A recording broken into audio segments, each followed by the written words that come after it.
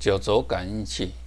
那 BPI bit 使用的感应器是 MPU 九二五零，好，这个感应器。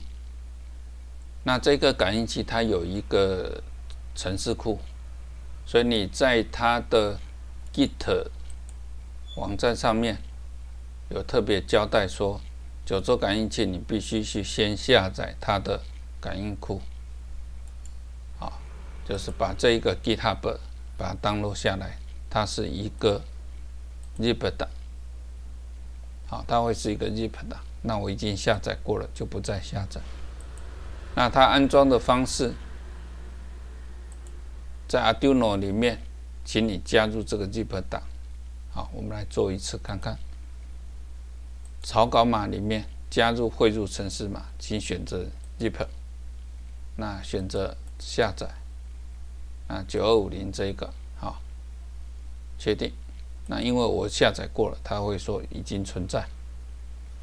那当你把它汇入程式库以后呢，你必须在管理程式库里面去看一下你要的程式库是不是有打开来。那请你搜寻 SIGFOX，SIGFOX 啊。那因为我安装过了，所以这边一点零点四它是 install 的状态。啊，也就是这个 wiki 页面讲的，你做完之后，你必须去确认它是开启的。这里啊，你必须去确认说这一点零点四版的 SIGFOS 是开启的，啊，已经安装的，那这样才会可以使用。好，当你都做好准备之后，开启这城市范例。啊，要注意一个是，第一个，我们要界定 MPU 九二五零的硬体，它这边有特别说明，BPI bit 一点二版跟一点四版所使用的，好，这个数字是不一样的，这是零叉六八是一点四版，啊，一点二版。那一点二版跟一点四版怎么去判断它？说我的版，我的。BPI bit 的版本是哪一个版本？那我们来看一下。好，这是我们的 BPI bit，在正面的地方它会有显示，啊，会有显示 BPI bit 这里。那在 BPI bit 的啊右下方，我们看一下。你会看到一个版本号，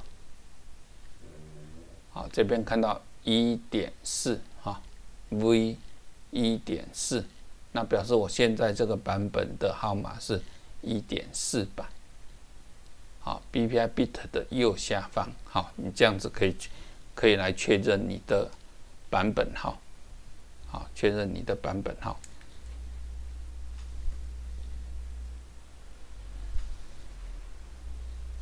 好，那我们再回来。好，这是我们的城市码。再来一个，你要确认一下你的 Serial Port 你使用的频率。好，范例档里面是九六零零。那牵涉到你打开 Serial Port 的时候，这个地方你要选择的频频率是多少？啊，如果你是九六零零，你就要用九六零零。那因为我们前面的范例都是使用。一五二零零，所以我们就把它改成一五二零零。那在 setup 里面，就是界定说这个，好规定说告诉他我们要用这个，然后呃，IMU 要启动，然后就把它的 station 读出来，然后不断的读出来，好，那启动它之后，在 v l o o up 里面，我们就是。读取这感应器的值，然后把它秀出来。好，我们编译一下。好，编译完成，写入。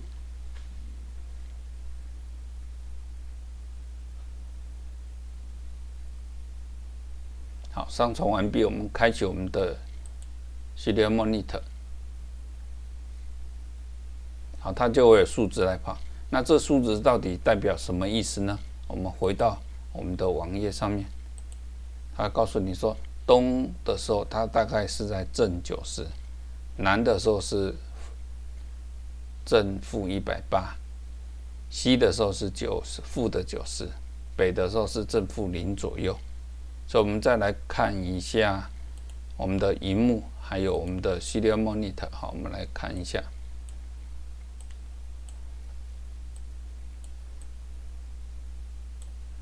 把它缩下来。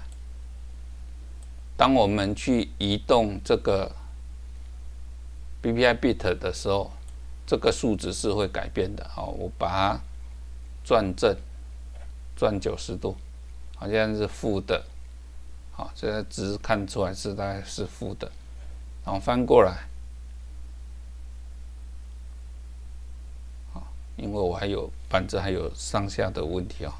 大概我们也看得出它的数值会有变化，再转过来，啊，一百八左右，哈，这个垂直的时候是这样，再翻过来，啊，又回到我们的前面的数值，所以经由这样转动板子，我们就知道说，我们目前这九轴感应器的值，它是在东南西北上下，好，它有四三个轴轴向 S、Y、Z 轴。那出来的数值都不一不太一样，你可以使用这样子来去做侦测，是板子做什么，啊做了什么动作。